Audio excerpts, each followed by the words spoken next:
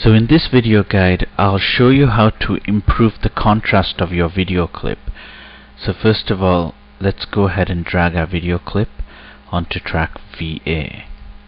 Now if you scrub the timeline you see this uh, exotic pigeon and it looks a little bit dull so what we want to do is we actually want to brighten this up so what we'll do is we'll click on it then right click and go into video filters and we'll choose the highlight filter and click on add.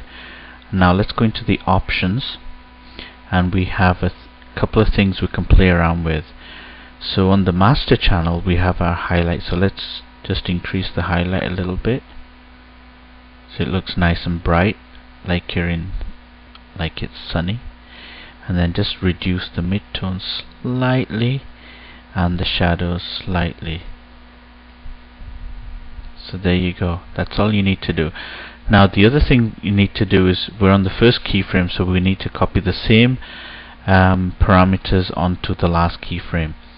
So the way to do this is to right click on the first keyframe and then click on copy.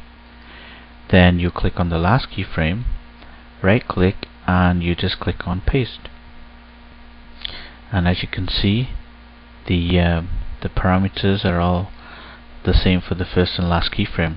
Now go ahead and click OK and click OK again and let's just scrub the timeline.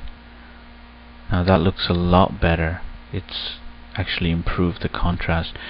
Now we'll just drag the original clip onto track VB so we can compare it with the original one. So here's the the final one and here's the original.